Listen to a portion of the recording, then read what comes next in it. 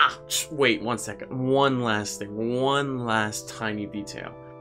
I consider this channel dead, and I know you guys also consider this channel dead, but there's a little few of you who don't consider this channel dead, and I might interest you in something. I started another channel. I think this channel, Chedic, will forever remain as my history of Save the World, and I tried to hide that history. I was embarrassed, I was ashamed, I was disappointed.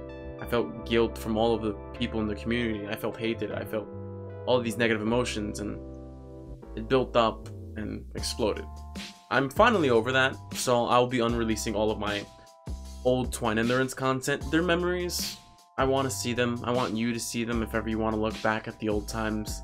The good, the bad, the ugly, the funny, the rude, and the happy. I want to put them back. But I won't be any I won't be uploading anything new here. I know I got that glorified number and all that, but it means nothing to me because the majority of you guys aren't my community. You didn't come to this channel for me. Only a small few of you actually like me. And that's why I made the Chedic channel. Where the small few who actually like me can watch the content I want to make and things I want to develop in the future.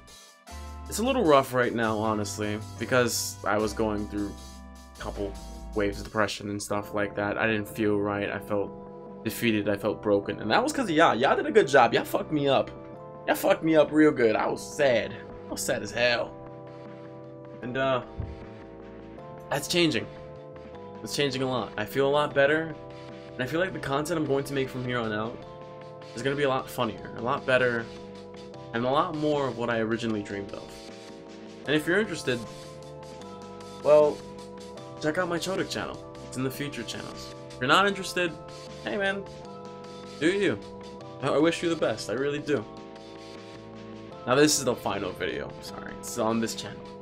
I don't care about the number. I just want my community. And that's all I'm gonna say. Love y'all, and toodles.